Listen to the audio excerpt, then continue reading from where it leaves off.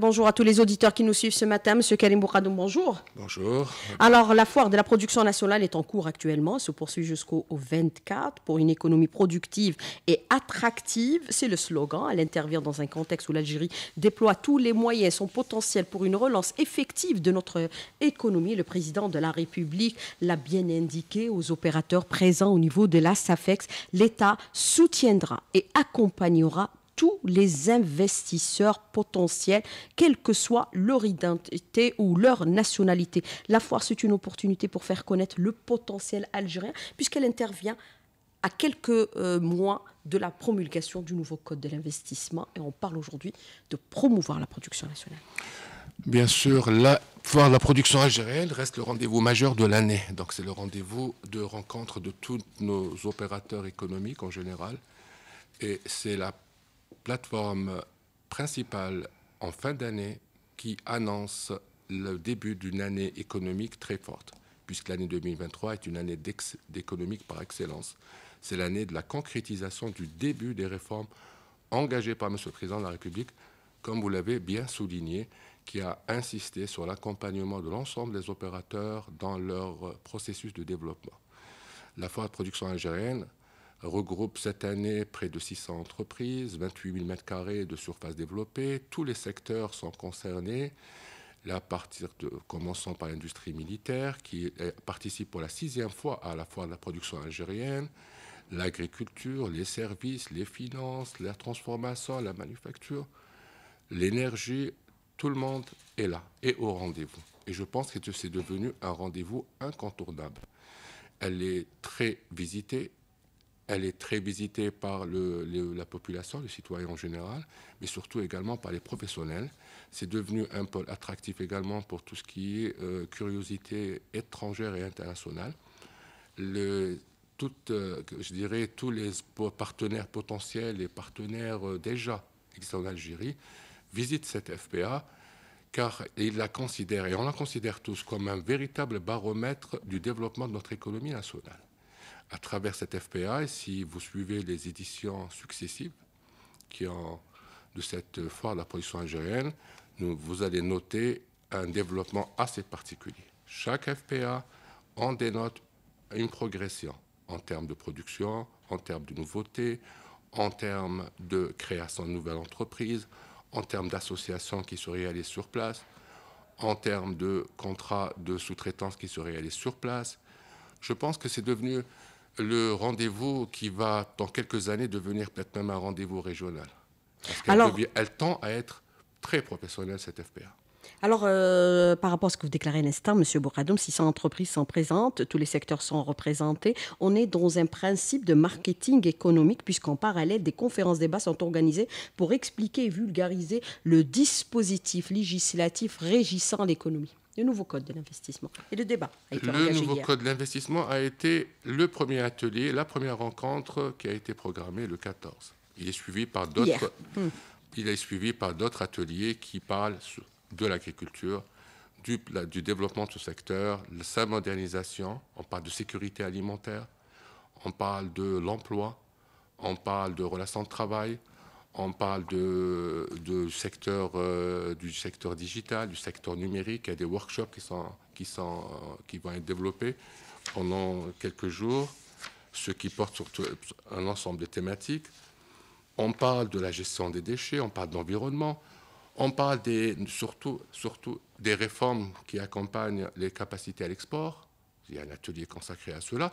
On parle en vérité, on parle de tous les axes stratégiques de développement, on parle de nouvelles politiques, on parle de l'enclin, du déclin qu'on veut déclencher. On parle des réformes qui sont engagées, parce qu'après les réformes institutionnelles, nous avons, M. le Président de la République est passé aux réformes économiques. Les réformes économiques, bien sûr, la pierre angulaire reste la loi sur l'investissement. Mais il n'y a pas que cette loi. Il y a le monde du travail, le monde syndical, il y a le monde du numérique, qui s'est également outillé en texte réglementaire. Il y a une réforme qui est prévue pour le, code de la monnaie, le crédit et la monnaie. Donc il y a beaucoup de leviers qui sont en train d'être levés. Je pense que l'année 2023 est un début d'une nouvelle étape dans l'orientation économique nouvelle de l'Algérie. Mais c'est le principe du marketing économique, faire connaître le potentiel Algérie. Alors, faire connaître le potentiel Algérie, c'est la FPA, mais ce n'est pas uniquement la FPA, parce que la SAFEX qui reste quand même le principal promoteur et le principal vecteur de communication marketing de notre production nationale, Ici et ailleurs. Ne le fait pas qu'en Algérie, elle le fait aussi à l'international. Parce que l'économie nationale, le, un des objectifs actuellement, c'est la promotion des exportations hors hydrocarbures. C'est le slogan, c'est le slogan majeur. On travaille pour assurer notre sécurité interne, mais on travaille également pour améliorer nos chiffres à l'extérieur, qui se sont nettement améliorés, parce que là, là, il y a quelques années, on parlait de centaines de millions de dollars, là, on parle de milliards de dollars. Là, on parle d'objectifs qui sont situés autour de 10 et peut-être normalement dans 2-3 années passer à 15 milliards de dollars. Donc la SAFEX joue ce rôle à l'extérieur et elle le joue d'une manière très forte et très puissante, très discrètement, mais très forte. Alors, l'exportation, par rapport à la, question que vous abordez, M. Bouradoum, euh, au euh, est-ce que ce principe de l'exportation, puisque vous en parlez depuis quelque temps déjà, en parallèle ou en marge de toutes les foires qui sont organisées, il y a aussi la foire euh, de l'exportation? Est-ce que l'exportation commence à s'ancrer dans les mentalités, puisque même le président de la République, il a dit, il faut changer d'approche, il faut changer de mentalité? Le problème, c'est les mentalités. C'est évident. Alors, les, il, faut, faut, associer, il faut associer un, un process dans l'histoire un peu. On est passé, on est passé d'un tout import, où l'Algérien, l'opérateur économique algérien, a appris à ne pas chercher de débouchés à l'extérieur, à s'autosuffire en marché interne, en s'appuyant ça quelquefois sur les marchés publics. Et on a fermé, en quelque sorte, réglementairement tous nos textes, tout ce qui est destiné à la promotion à l'exportation.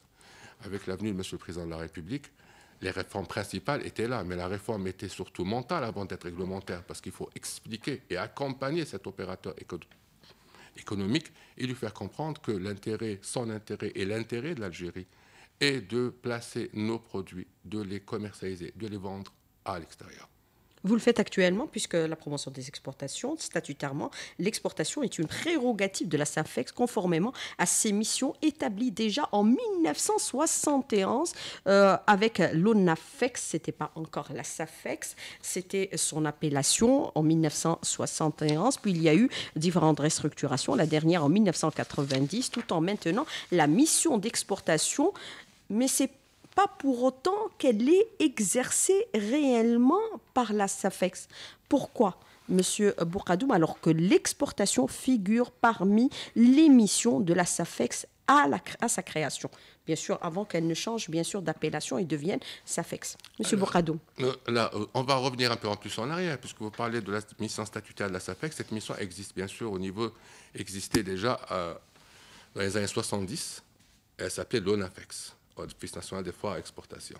À cette époque, les, chaque office, il y avait quelques offices publics et chaque office avait sa spécialité. Et elle exportait Elle exportait, elle accompagnait et elle suivait le commerce les dates, algérien. Premier produit exportable. depuis la libération de l'économie algérienne, la SAFEX n'a pas le monopole d'export. Tout le monde exporte.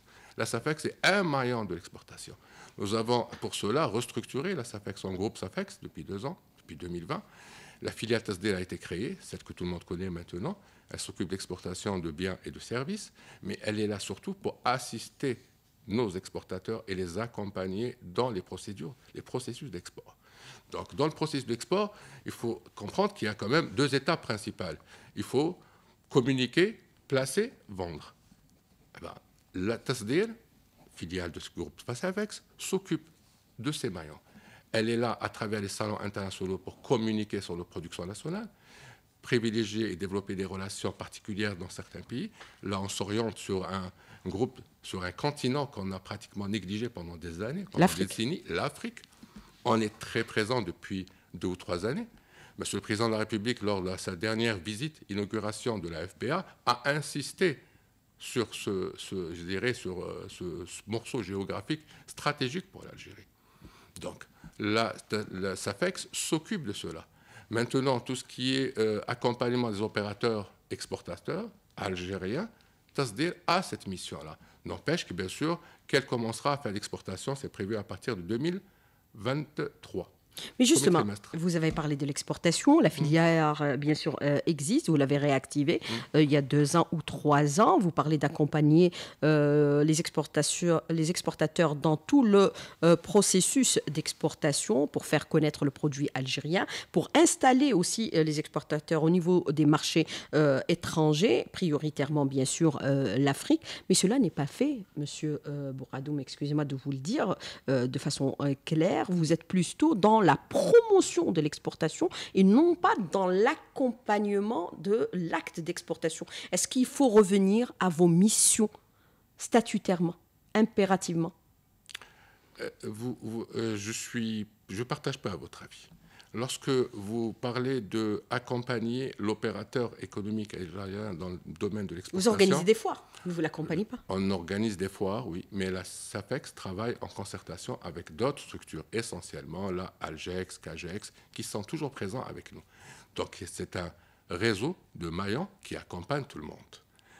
Le commerce extérieur, je peux partager votre avis sur un seul point. On devrait euh, voir comment fédérer ces efforts en une structure très puissante qui orienterait ce commerce extérieur une fois pour toutes et qu'on n'ait pas peut-être plusieurs acteurs.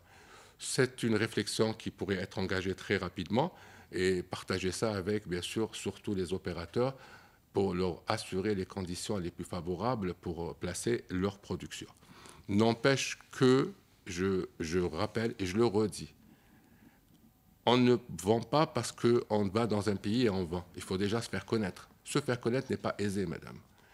Se faire connaître, on a, eu beaucoup de retard à ce niveau-là. Les réformes engagées en termes au niveau des affaires étrangères ou maintenant les attachés économiques aux ambassades ont des prérogatives de mission économique réelle, donc de promotion de la production nationale. Et là, il y a des efforts colossaux qui sont entrepris ces deux dernières années. Et ce travail de je dirais, en concertation avec tous les services, c'est-à-dire qu'il faut fédérer un peu nos efforts, ramènera et commencera à ramener des résultats.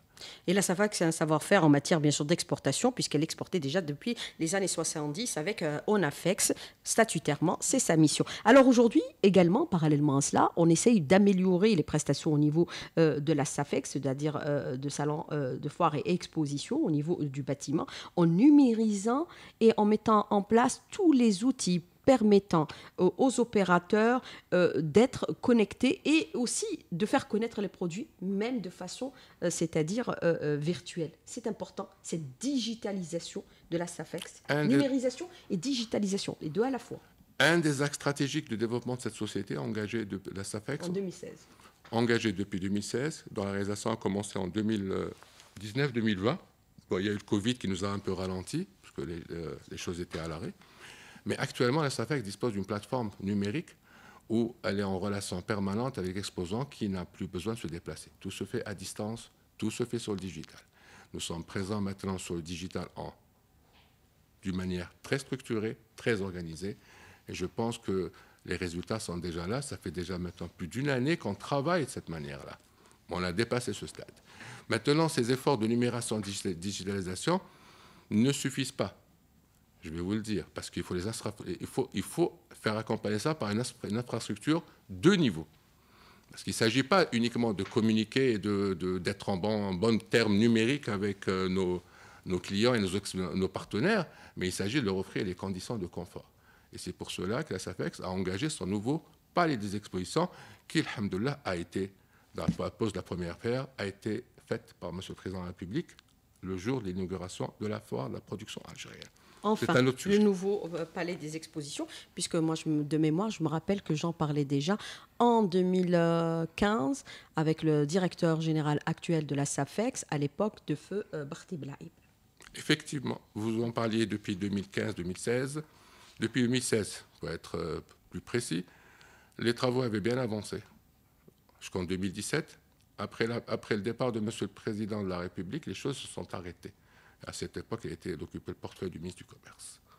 À son retour, avec la pandémie, les choses étaient à l'arrêt. Et la reprise a été fulgurante puisque le projet a été adopté par, le les, CPE en mois de juin 2022. La poste, la première pierre a été faite et je pense que dans l'histoire de 24 à 36 mois, on aura déjà le nouveau module, un premier module de ce nouveau palais d'exposition. Alors, euh, je voudrais revenir avec vous, euh, Monsieur euh, Karim Bouradoum, sur plusieurs aspects par rapport à cet événement qui est imminemment important, puisque la foire revient après une période d'arrêt, celle de Covid-19, même s'il y a eu la foire internationale et d'autres événements, mais c'est la foire de la production algérienne. Je vais reprendre le terme que vous avez euh, employé. Vous avez parlé bien sûr du bâtiment actuel, que tout le monde s'accorde à dire qu'il est vieillissant. Un nouveau palais des expositions sera euh, bien sûr euh, réalisé. Les délais de réalisation, vous avez donné un peu les 36 mois pour sa réalisation. Le président de la République a donné bien sûr le coup d'envoi lors de l'inauguration de la foire de la production nationale. C'était avant-hier. Est-ce qu'on peut considérer que vous allez aussi pouvoir vous déployer à travers euh, tout le territoire national pour euh, réaliser l'équivalent de la SAFEX à travers tout le pays, de telle sorte à être présent partout et délocaliser les foires à travers tout le territoire national pour faire connaître tout le potentiel. On a des potentialités du côté du sud du pays énormes euh, qui sont présentes. Euh, l'ouest du pays avec bien sûr une industrie naissante qui est en train d'aujourd'hui d'évoluer, comme par exemple pour euh, la mécanique ou pour bien sûr l'hydraulique. Vous avez aussi le côté de l'est, être présent à travers tout le territoire national. Alors, la SAFEX a toujours organisé des foires régionales pour pour la mémoire et pour l'histoire, ça a non, été... organiser des foires équivalentes à celles d'Alger. J'y arrive. Les foires, les foires régionales, en général, équivalentes à Alger, c'est une, une histoire de taille. Actuellement, vous allez, nous avons le ACH Tamnaset qui se tient actuellement, qui va se tenir bientôt, dans quelques jours et qui reste euh, une rencontre régionale au sud très importante. Très importante. Très importante, puisqu'on parle de pays frontaliers, pays du Sahel, échanges, troc, frontières. Il y a pas mal de choses qui se passent là-bas, très intéressantes et très importantes pour le pays. Et c'est notre prolongement historique. Effectivement. Nous avons également des rencontres qui se, qui se déroulent actuellement à Oran, à Constantine, avec d'autres organisateurs qui sont en train de travailler également. On n'est pas les seuls. Nous occupons bien sûr des événements majeurs qui se passe au niveau national. Nous nous occupons des événements, je dirais, ultranationaux. Les salons que compte la SAPEX et les foires, on parle de FPA, mais on ne parle pas de la FIA, on parle du centre public, on parle du salon du bâtiment, on parle de salons... Les salons spécialisés. D'envergure nationale et internationale, pour ne pas dire régionale, comme Batimatech ou la FIA, qui sont de renommée avec la FPA. Nous avons également d'autres salons réalisés avec des partenaires qui touche aux médicaments, à la pharmacie. Nous avons, alors, les activités sont très nombreuses. Maintenant, la SAFEX, à chaque fois qu'elle se déploie au niveau régional, elle se déploie pour des activités bien précises. Il ne s'agit pas de construire pour construire. Il ne s'agit pas d'investir des structures d'équivalent de la SAFEX pour, la, pour euh, à la limite, euh, travailler un ou deux salons par an. Ce n'est pas rentable, ce n'est pas dans la vocation de l'entreprise. Par contre, il s'agit de s'installer au moment qu'il le faut pour des périodes précises, ou s'associer, ou faire des partenariats, ou se développer d'une certaine manière. Donc il s'agit de réfléchir. Maintenant, notre principale priorité, c'est de rehausser la vitrine de la capitale. Ça demande des efforts conséquents, des investissements assez importants. Il s'agit de reconstruire un nouveau palais, madame. Un nouveau palais après un demi-siècle où on n'a rien fait à ce niveau-là. La capitale ne dispose pas de palais d'exposition réellement depuis un demi-siècle les autres capitales. Alors, pour l'histoire, lorsqu'on a réalisé en 70 ce palais, il était parmi les plus beaux du monde, les plus importants à cette époque.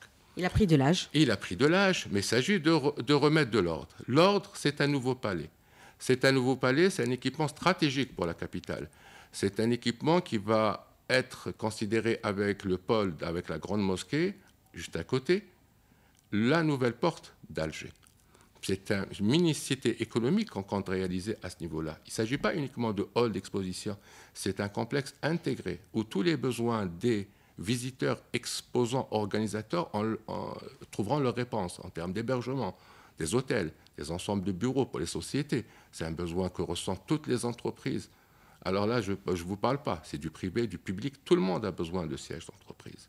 Il s'agit de remettre à niveau le parc de loisirs pour devenir un parc à thème. Parce que la foire, il ne faut pas l'oublier, elle est incrustée, pour employer le bon terme, dans l'inconscient collectif de l'Algérois et même de l'Algérien en général. Qui ne connaît pas la foire et qui ne vient pas visiter cette foire? Donc, toutes ces, je dirais, toutes ces thématiques qui sont là entre l'expo, le service, le loisir, doivent être conjuguées à travers ce nouveau palais d'exposition. Il doit être moderne. Il, il répondra à tous les normes, toutes les normes Bien sûr, évidemment. Les normes, bah, c'est le principal objectif. Répondre aux normes de confort, d'aménagement et d'accueil, c'est la principale, c'est une des principales caractéristiques techniques de ce nouveau palais des, expositions. Il comporte quand même 90 mm, il comportera 90 mm d'exposition à l'avenir. additionné à cela, on préserve les anciens pavillons qui vont être réhabilités. Pavillon central, le A et le C, 25 000 m2. Il y aura quatre tours de bureaux, 80 000 m2, trois hôtels, dont un appart-hôtel, un parc de loisirs, un centre commercial. C'est un complexe qui couvre quand même plus de 54 hectares. Ce n'est pas, c'est un projet, à la j'allais dire, c'est un projet d'envergure, euh, d'envergure euh, au niveau de cette capitale. On va refaire cette façade urbaine, on va remodeler tout cela on va ramener ce plus dont a besoin la capitale. Il va participer à cette nouvelle image de la capitale. Mais ce président de la République ne cesse de, je dirais, de dire et de le redire. Alger doit devenir une destination. Il ne s'agit pas, quand on parle de destination, ce n'est pas du tourisme qu'on fait. Il y a le tourisme, il y a le tourisme économique. Ça doit devenir une destination économique. Ce nouveau palais participe dans ce dispositif. Mais bien sûr, par rapport à ce projet ambitieux qui va réaliser plusieurs infrastructures, avec bien sûr des espaces de loisirs et euh, des espaces aussi de communication au profit des opérateurs économiques, le coût de cette réalisation aujourd'hui, euh, Monsieur Bourradou Oui, alors, le coût prévu, prévisionnel, est de 47 milliards de dinars. La, la SAPEC s'occupe uniquement du module exposition, c'est son cœur de métier, à savoir un coût prévisionnel de 19,5 milliards de dinars il s'étalera sur cinq années, parce qu'on va réaliser les halls successivement, parce qu'il ne s'agit pas d'arrêter la SAPEX. L'activité continuera, comme vous le constatez maintenant, elle ne changera pas. Donc ça va être un phasage très réfléchi qui va être euh, opéré. La partie service que j'ai cité, les tours de bureau, les hôtels, ceci, euh, cette partie-là sera réalisée en mode partenariat. Donc il y aura des montages financiers avec des partenaires à définir. Et dans les cahiers de sont en train d'être élaborés pour le choix des futurs partenaires. Donc le coût, à la limite, sera, amorti entre, sera entre la SAPEX et ses futurs partenaires. Alors, euh, la promotion de la production nationale se fait euh, dans notre pays et aussi euh, se fait également à l'étranger. La, représentation de, de, nos produits via, bien sûr, la SAPEX à travers les foires internationales, de grandes foires d'envergure, qu'elles soient au niveau des États-Unis, puisqu'il y a eu des foires qui ont été organisées par le passé. Elles pourraient l'être encore une fois, puisque notre Premier ministre se trouve actuellement au niveau des États-Unis. Il y a aussi l'Afrique, puisque le président de la République insiste sur notre présence au niveau euh, du continent où nous avons quand même des avantages comparatifs par rapport à la proximité et par rapport euh, euh, aux infrastructures qui nous permettent bien sûr d'être présents puisque c'est devenu le continent le plus compétitif pour l'exportation, pour tous les États, pour tous les pays. Tout le monde est présent au niveau de ce continent et à travers aussi les autres foires dans certains pays qui sont aujourd'hui stratégiques pour nous, comme par exemple l'Italie. Cette promotion de la production nationale, elle est réelle ou elle est juste là pour de la présentation? Est-ce que nous faisons des efforts de telle sorte à faire effectivement connaître le potentiel Algérie avec bien sûr tout le cadre juridique? Par le passé, on disait on était présent pour être présent, tout simplement. Les choses ont changé depuis? Les choses changent, madame. On change. Les choses changent beaucoup. On parle de mentalité, changement de mentalité, changement d'approche. Le principal, le principal changement, il est, il est à ce niveau-là. C'est un changement mental et psychologique. Je, je vais peut-être me répéter, mais je dis, on est en train de passer, on est passé d'une période de 30 ou 40 années d'import, et on repasse maintenant à une réflexion sur l'exportation. Les opérateurs, on change d'approche. Les opérateurs se sont, sont en train de s'adapter, poussés bien sûr, avec l'insistance des pouvoirs politiques et à leur tête, Monsieur le Président de la République, qui ne cesse d'insister sur ce point-là. Il l'a dit, il a réitéré. Les, les opérateurs économiques s'adaptent, le pouvoir politique les accompagne, la législation est en train de se réformer pour les accompagner également. On s'ouvre à l'international. On s'ouvre à l'international. Notre présence à l'extérieur commence à devenir plus, plus efficace, plus réelle, plus opérationnelle. Quand euh, maintenant la plupart de nos grands événements internationaux, l'implication du pouvoir politique et des représentants de l'État algérien sont là et lorsque et toutes les réserves qu'on pourrait relever, toutes les différences qu'on pourrait relever sont corrigées au niveau des textes au fur et à mesure. Donc on essaie de se parfaire. L'opérateur communautaire également découvre ce monde. Parce que pour certains qui sont déjà rodés, qui ont déjà commencé l'exportation, il y a quelques opérateurs qui exportent depuis quelques années déjà. Se pas, pas dit, hein. mais les, les, nouveaux qui sont en train d'arriver, qui s'intéressent, parce qu'il y a des gens qui commencent, des opérateurs qui commencent à s'intéresser. Et donc, ils commencent à y aller à découvrir et voir ce potentiel, parce que c'est réellement un potentiel. Notre produit algérien est devenu très concurrentiel. Il est devenu de qualité. Il a gagné en, en marketing, en packaging, en qualité, en coût. Il a beaucoup, beaucoup, aussi gagné. reste à faire. Monsieur le Président de la République a, bien sûr, par exemple, sur le module logistique, il a, il a carrément débloqué une nouvelle ligne maritime, on l'a débloqué sur, euh, sur Dakar. C'est un, je ne vous cache pas que c'est un, un- ça a un impact important sur le coût, le prix d'arrivée, le coût de revient, le prix de vente de notre produit, notre produit algérien. Et plein d'accents sont en train de se faire. Cette année, il y a eu, une, il y a eu une, exposition qui a été organisée avec tout le pharma algérien. Je dirais la crème notre, de notre de notre pharma était présent à Dakar avec, le, avec deux ministres, si mes souvenirs sont bons, un ministre de pharmaceutique qui était présent. Et le- l'exposition a eu un succès assez retentissant. Le- L'expérience s'est répétée il y a quelques deux, trois semaines en Côte d'Ivoire et elle va encore se répéter. Le secteur des hydrocarbures, actuellement, on l'accompagne dans, ses, dans ses présences, sa présence à l'international. On fait de l'assistance. Actuellement, les équipes sont en train de travailler sur une expo en Libye, qui est pour bientôt, qui est un marché très important pour l'Algérie. Un marché et bien sûr un pays politiquement frère. Alors, euh, on va aujourd'hui euh, là où on a des intérêts stratégiques, où on va partout à travers le monde pour donner la chance aux produits algériens d'être présents au niveau euh, international. Il faut, être, faut aller dans la compétition. Il ne faut pas avoir peur de la compétition. Il faut aller dans le principe gagnant-gagnant, madame. Quand on développe une relation. Mais il faut aller vers la faut- compétition. quand on développe une relation, toutes les deux parties doivent gagner. L'expérience avec l'Italie était assez. Elle montre, elle montre cet aspect très fortement. Mais ce président de la République a été très clair. Là où je vais, je travaille, on travaille tous. Là où on nous ferme les portes, les choses changent. Clair, net. C'est de l'économie. On est en train de faire On du fait de l'argent, du on fait de l'argent, on fait du business. On développe notre économie. Il ne s'agit pas de Il n'y a que pas de- d'état d'âme en il économie. ne s'agit pas que de parler. Là, maintenant, on est passé aux actes. Le, Monsieur le Président de la République, quand il dit que c'est l'année de début des résultats, c'est l'année de concrétisation, on concrétise. On doit concrétiser, On a mis le dispositif législatif, il faut passer à la phase réalisation aujourd'hui. bien sûr. Et là, les résultats doivent tomber et tomberont, parce qu'il suffit d'un peu de... Je pense que les, euh, il- les conditions commencent à se réunir. Les, con- les conditions législatives sont, là, les conditions de confiance sont là, l'assurance est là, le climat est meilleur, Stabilité le juridique. stabilité juridique, elle commence 10 à s'installer, et donc les choses vont s'améliorer. La loi sur l'investissement est une loi, est une loi très très ambitieuse et très puissante cette loi. Elle rassure cette loi. Elle a mis du temps à sortir, mais il fallait, la- il fallait, il fallait bien sûr la sortir quand même. Et elle est, elle est sortie avec. euh, alors, la plupart des contacts que j'ai eus personnellement, les gens sont très rassurés. Et on est parti très loin. Alors, euh, les, bien sûr, les, sceptiques et les pessimistes vont dire hein, euh, vous allez avoir du mal à appliquer. Mais là, c'est totalement faux. Ça, je dirais, c'est les nihilistes qui sont en train de continuer sur ce discours. Mais pour l'instant, cette loi est là et elle donnera, je suis certain, des résultats très bientôt. Alors, euh, on a vu euh, le président de la République lors, bien sûr, euh, de l'inauguration de cette foire, où 600, bien sûr, exposants sont présents actuellement, et ça va se dérouler jusqu'au 14. Il a beaucoup insisté sur l'aspect lié à l'intégration. Là aussi, c'est un autre aspect qu'il faut impérativement développer avec la SAFEX de telle sorte à promouvoir nos exportations et la production nationale, faire connaître le produit avec un taux d'intégration qui est important. C'est la raison pour laquelle on parle plus de production nationale, mais de production algérienne, le Made in Algérie, Le Made in Algeria est qui est l'objectif. en train de se mettre en place.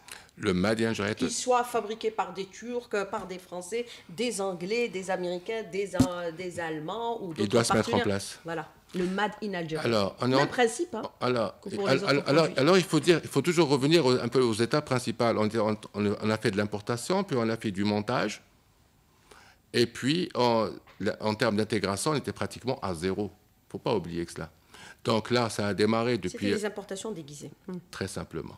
Maintenant, depuis deux Le ou trois a été le premier à depuis deux, depuis deux ou trois années, la principale condition de, de, de, de- de cette réforme économique, c'est que je t'accompagne à la condition que tu commences à diminuer de tes importations en entrée et commences à intégrer au maximum. Je ne te dis pas de faire l'inté- l'intégration en une année, tu, fais, tu arrives à 50%.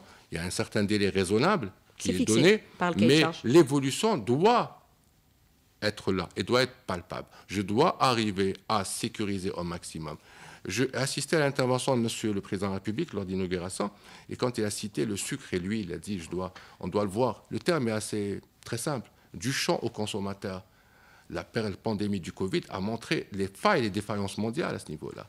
La sécurité alimentaire est une, et je dirais, est un axe stratégique, autant que la sécurité énergétique, la sécurité hydrique, la sécurité, je dirais, intellectuelle. Vous inscrivez dans cette logique Bien sûr. Au niveau de la SAFEC? Bien sûr. C'est évident, madame. Le Made in Algeria doit se mettre en place? Doit se mettre en place. Il va se mettre en place? J'en suis convaincu. On pousse, les, les gens sont poussés. Vous savez, l'opérateur économique ne demande pas grand-chose. Vous lui faites confiance, vous lui donnez l'environnement qu'il faut et vous le laissez travailler. Et bien sûr, euh, les textes sont là pour euh, les garde-fous. Alors, euh, il y a 600 exposants au niveau, bien sûr, de cette foire de la production algérienne, je vais employer le terme euh, adéquat, au niveau euh, de la SAFEX, et ça va se dérouler jusqu'au 14. Parmi les 600 exposants, il y a aussi cette volonté d'aller vers des partenariats. Vous êtes là-bas, présent à longueur de journée. Vous avez établi, bien sûr, des listes de, des exposants qui sont présents, qu'ils soient nationaux ou étrangers. Vous avez palpé un peu cette volonté d'aller vers, par exemple, la réalisation de certains partenariats en différentes entreprises pour une complémentarité dans le cadre du partenariat public-privé ou dans le cadre du partenariat avec, euh, bien sûr, des entités étrangères. Monsieur Bourradou. Je vous réponds d'une manière très plusieurs contrats sont signés lors des foires. Puisque je suis là-bas toute la journée, je vous raconte quelque chose. C'est que euh, chaque matin, vous voyez des, véhicules euh, avec des plaques d'immatriculation de différentes wilayas qui arrivent à la SAFEX pour visiter la FPA. Tous les opérateurs économiques au niveau national s'intéressent à ce qui se passe à Alger. On découvre beaucoup de produits qu'on ne connaît pas Mais nécessairement. C'est bien, cela. C'est bien cela. Euh, alors, vous avez, vous avez de, grands, de grandes enseignes qui, communiquent très, très aisément à travers la presse. Ils investissent dans On les. Ils ont les moyens. Et vous avez de jeunes entreprises, vous avez de jeunes entreprises et d'autres sociétés moyennes Notamment qui n'ont pas, les mêmes moyens. Et donc, ils ont besoin de se faire connaître. Et quelle est la meilleure place au niveau de l'année? C'est bien sûr la FPA. Il y a bien sûr il y a d'autres stations intermédiaires. Lorsqu'on est dans le bâtiment, vous allez à Batimatech. Lorsque vous voulez aller dans le pharma, vous allez à Cifal. Il y a pas mal de salons qui sont là. Mais la FPA reste le rendez-vous annuel. Donc, les possibilités de partenariat, d'échange, de communication, de sous-traitance, de conclusion de contrat, c'est peut-être le meilleur rendez-vous de l'année pour jauger et évaluer et faire des affaires entre guillemets. Mais euh, vous avez euh, perçu cette volonté d'aller vers, euh, par exemple, la réalisation de contrats pendant cette foire vous savez, Comme c'est le cas, hein, dans toutes les foires, il y a des contrats qui vous sont savez, Vous savez, là, on est en train de bâtir au niveau, je dirais, au niveau de la réforme en général, on est en train de bâtir un tissu de complémentarité. Lorsqu'on insiste quelquefois au niveau du secteur de l'industrie, dans le secteur de l'énergie, sur la sous-traitance, ceci veut tout dire. On ne peut pas tout faire. Donc, on doit faire travailler, on doit travailler tous ensemble. Travailler tous ensemble d'une manière, bien sûr, réfléchir et synchroniser et accompagner les, les, jeunes entrepreneurs. Il y a pas mal de choses qui se font et on a, on a besoin de travailler euh, avec eux. Cette complémentarité, c'est un, un, je dirais, des atouts pour réussir notre développement. Nous devons exploiter au maximum notre potentiel pour diminuer des coûts. Et la communication, c'est le meilleur moyen. Les startups sont fortement aussi euh, présentes Bien sûr. Les startups, alors, les startups sont, sont très présentes. Les startups ont des salons dédiés à eux, parce que les startups, c'est tout le long de l'année. Les startups, c'est plus, plus un événement, marge, euh, disons, ponctuel au niveau d'une année euh, de travail. C'est le salon e-commerce, c'est le salon digital, c'est la conférence qui a été organisée par Monsieur le ministre euh, des startups. Il y a pas mal d'événements qui s'organisent autour des startups. C'est quelque chose qui, commence à, qui commence à aller dans je dirais, dans le, gène du gestionnaire algérien. Parce que qui dit start-up, dit numérique, dit digital, dit transparence, dit beaucoup de choses, dit technologie, dit beaucoup de choses. Alors, euh, vous avez cette question de l'auditeur qui vous dit aujourd'hui, Monsieur euh, Karim Bouradoum, vous semblez être très ambitieux par rapport à ce que vous déclarez euh, ce matin dans cette émission de l'invité de la rédaction. Mais dans la réalité, il reste quand même quelques failles par rapport justement à la communication pour faire connaître les 600 entreprises. Est-ce que vous comptez mettre en place une plateforme de telle sorte à à informer, c'est-à-dire euh, les citoyens sur les 600 entreprises qui sont présentes, de telle sorte à pouvoir aller directement vers l'entreprise de son choix quand on est en visite. Bien sûr. Alors, vous avez, vous avez les programmes qui sont publiés sur le digital, mais pour l'année prochaine, Là, on est, en train, en train de développer notre côté digital. Ça aurait été bien de faire une visite guidée virtuelle. Ah ouais, ouais, ouais. Alors ça, c'est le prochain. C'est pour le salon du livre, donc on peut le faire. C'est la prochaine étape. On veut le faire. On veut le faire un peu mieux, je dirais. Visiter de façon virtuelle. Ça demande, ça demande un travail particulier. On pense le faire pour le Batimatech, qui est notre prochaine, notre prochain grand rendez-vous national. Et ça va être notre première expérience qui va parfaire un peu notre dispositif. Donc c'est déjà prévu dans notre, dans notre programme d'intervention. Vous allez le, faire aussi pour les salons à l'international, les visites virtuelles? euh, je pense qu'également, euh, dès que cette expérience algérienne euh, réussira, parce que technologiquement, il faut poser, c'est une plateforme qu'il faut poser. Et c'est une plateforme après qu'il faut accompagner. C'est différent, c'est organiser un salon virtuel n'est pas, n'est pas une application très simple à gérer. ça a été fait?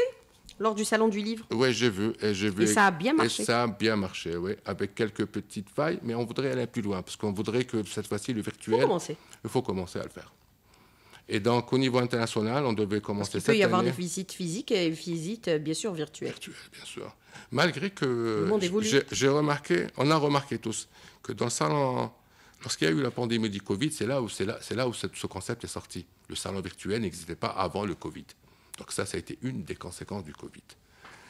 Et ça a permis de faire évoluer la technologie. Malgré cela, madame, le monde là, est en train d'évoluer. Là, je peux vous contredire. On parle avec sa famille euh, le sondage, par le, téléphone. Le sondage, le sondage qui est fait par les organisateurs au niveau mondial ne donne pas de bons horizons pour les salons virtuels.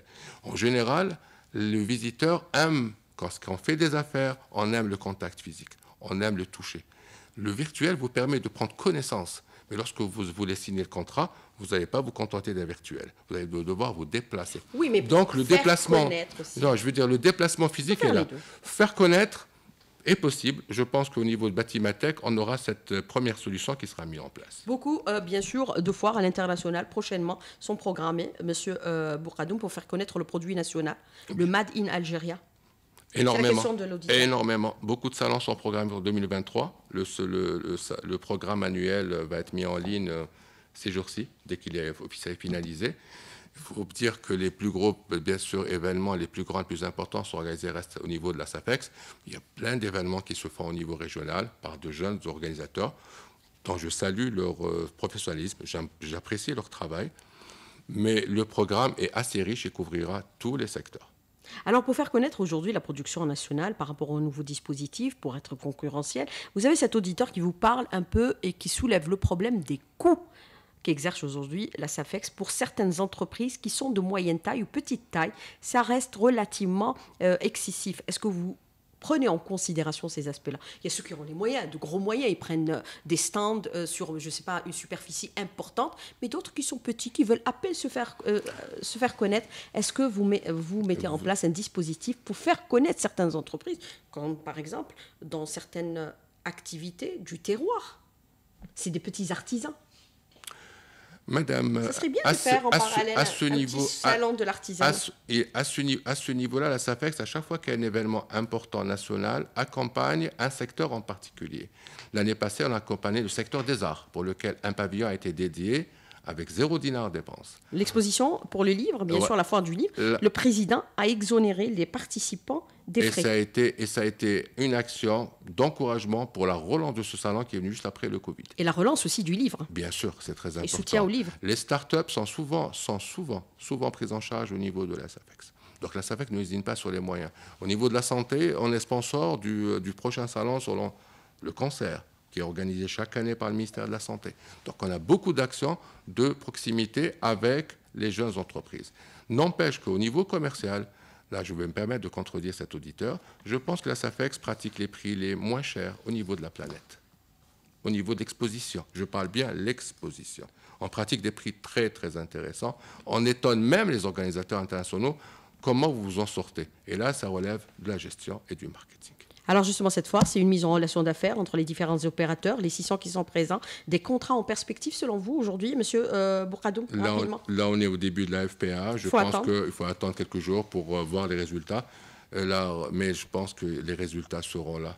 Il y a même une journée qui est prévue, là, à titre d'information, avec euh, le déplacement du corps diplomatique en Algérie, les attachés économiques, où on compte, là, ça va être organisé avec le ministère du Commerce, avec les agences algériennes. Pour quel jour?